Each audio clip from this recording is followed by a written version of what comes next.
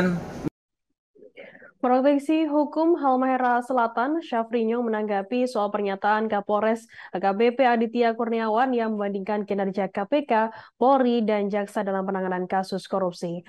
Menurut Syafri, lahirnya lembaga KPK lewat Undang-Undang Nomor 30 Tahun 2002 tentang Komisi Pemberantasan Korupsi KPK lantaran institusi Polri dan Kejagung dianggap tidak efektif memberantas tindak pidana korupsi.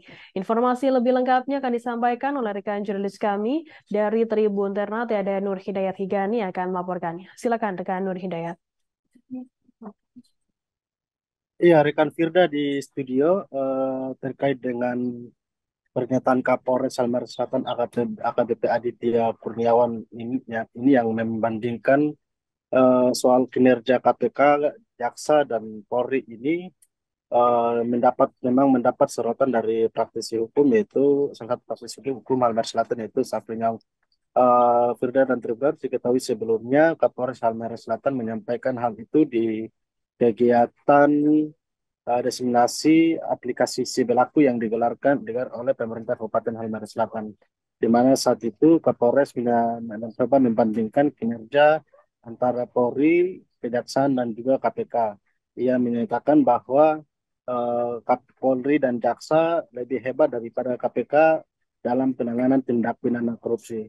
Atas pernyataannya itu, uh, Kapolres pun mendapat sorotan dari praktisi hukum, yaitu uh, salah satu praktisi hukum itu satunya di mana ia menyebutkan bahwa uh, pernyataan yang disampaikan Kapolres ini uh, tidak elok untuk disampaikan karena uh, menurut Safri berdasarkan Undang-Undang uh, Nomor 30 Tahun 2002 tentang Komisi Pemberantasan Korupsi, uh, institusi uh, lahirnya KPK yang mengatur tentang uh, KPK uh, di mana uh, lahirnya KPK ini karena institusi-institusi Polri dan Kejagung dianggap tidak efektif dalam memberantas tindak pidana korupsi.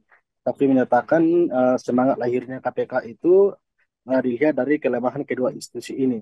Kemudian untuk uh, terkait dengan penyelidikan dan penyidikan, uh, KPK juga mempunyai kewenangan yang sama seperti Polri dan Jaksa uh, di mana mereka juga bisa menerima laporan masyarakat laporan dari masyarakat terkait dengan dugaan tindak pidana korupsi kemudian disidak di diselidiki disidik dan hingga pada uh, tuntutan uh, karena itu uh, kewenangan-kewenangan KPK ini menurut menurut Safri telah diatur dalam Undang-Undang Nomor 30 tahun 2000, 2002 tepatnya di pasal 7 yang mengatur tentang kewenangan tersebut.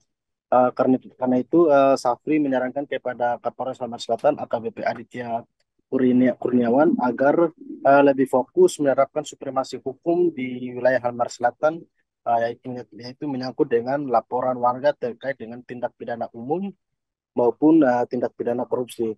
Karena bagi dia uh, uh, tidak bagus juga apa yang disampaikan oleh Kapolres dengan membandingkan kinerja antara ketiga lembaga ini Sebab di sisi lain uh, pimpinan KPK yakni Firly Bahuri juga uh, merupakan orang dari uh, Polri sehingga itu uh, Rafli meminta agar uh, Kapolres sendiri fokus pada uh, kerja-kerjanya sebagai uh, kepala pengamanan di Kabupaten Halmahera Selatan.